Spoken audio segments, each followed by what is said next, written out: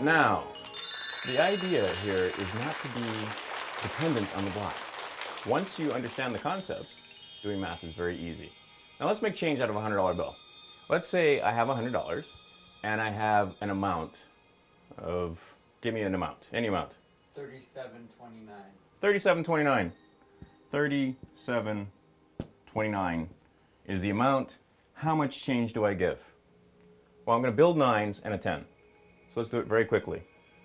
What does this need to be 9? 6, 2, 7, and this needs to be a 10. Done. That fast, that easy. Let's do another one, quickly. And now you know what I'm doing. Now you can see, by playing these games, building tens, understanding that numbers are made up of other numbers, knowing that 9 can have a party, and understanding that uh, the, uh, all the blocks want to be tens, well, now I can do math quickly and easily in my head because I understand the concept.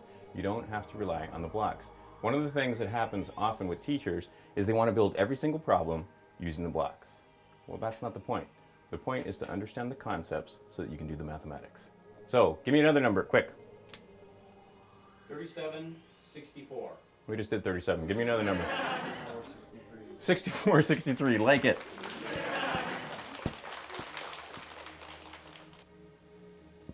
Again, what do I have to do? Build a 9. Need a 3. Need a 5. Need a 3. Need a 7.